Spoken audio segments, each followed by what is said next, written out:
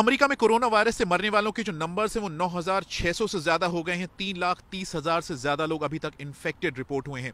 इस बीच न्यूयॉर्क के एक जू से खबर है कि वहाँ पर एक टाइगर कोरोना वायरस से इन्फेक्टेड पाया गया है। और माना जा रहा है कि अमरीका में किसी जानवर के कोरोना वायरस से इन्फेक्टेड पाए जाने का ये पहला मामला है। ये भी कहा जा रहा है कि उस जू में काम करने वाले एक व्यक्ति से ये वायरस उस टाइगर तक पहुँचा। तो पूछा जा रहा है सवाल यहाँ पर ये कि आ, क्या कोरोना वायरस किसी इंसान से जानवर तक ट्रांसमिट हो सकता है और अगर ये होता है तो कैसे होता है? अमेरिका में कोरोना वायरस की जब से क्राइसिस ये बड़ी होनी शुरू हुई है, राष्ट्रपति ट्रंप डेली व्हाइट हाउस की ब्रीफिंग्स में नज़र आते हैं अपनी टीम के साथ। लोगों को बताते हुए कि वो इस वायरस से निपटने के लिए क्या कुछ कदम उठा रहे हैं। अगर कोई गवर्नर उनसे असहमत नज़र आता है या फिर ये शिकायत करते नज़र आता है कि चीज़ों की कमी है या फिर उन्हें सरकार से पूरा सहयोग नहीं मिल रहा है तो राष्ट्रपति ट्रंप उस गवर्नर से नाराज़ दिखते हैं। अगर कोई गवर्नर उनकी तारीफ़ करता है या फिर ये कहता है कि उन्हें पूरा सहयोग मिल रहा है तो राष्ट्रपति ट्रंप उस गवर्नर की तारीफ़ करते नज़र आते हैं। गवर्नर्स चाहे किसी चीज़ की कमी की शिकायत करें, चाहे वो हॉस्पिटल बेड्स की कमी हो या फिर वेंटिलेटर्स की कमी की बात हो, राष्ट्रपति ट्रंप इन ब्रीफिंग्स में हमेशा कहते नज़र आएँगे कि किसी चीज़ की कोई कमी नहीं है और रिकॉर्ड स्तर पर इक्विपमेंट हैं, उनका प्रोडक्शन हो रहा है।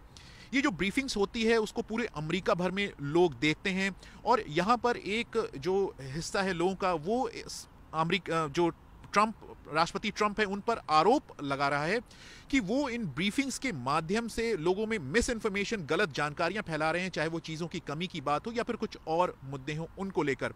और ये भी कि राष्ट्रपति ट्रंप व्हाइट हाउस का जो पोडियम है, उसका इस्तेमाल कर रहे हैं किसी रियलिटी शो के पोडियम की तरह लोगों तक पहुँचने के लिए। यहाँ पर एक आर्टिकल भी लिखा गया जिसमें पूछा भी गया कि ये ये जो ब्रीफिंग्स होती हैं उनको टीवी चैनल्स पर या फिर सोशल मीडिया पर लाइव दिखाया जाना, ये कितना सही है, क्या ये पत्रकारिता है, जर्नलिज्म है?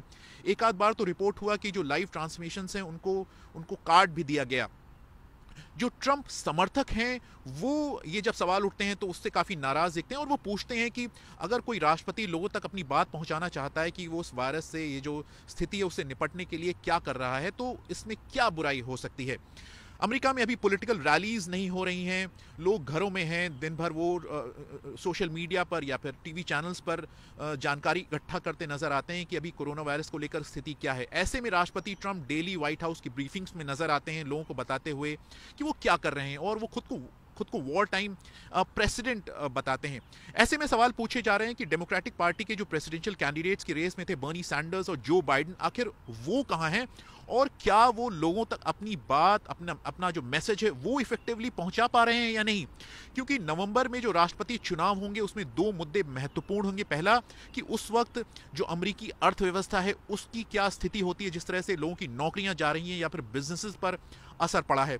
और दूसरा, ये कि कोरोना वायरस से ये ट्रंप प्रशासन है, वो कितनी इफेक्टिवली कितनी मजबूती से निपट पाता है। विनीत खरे बीबीसी वॉशिंगटन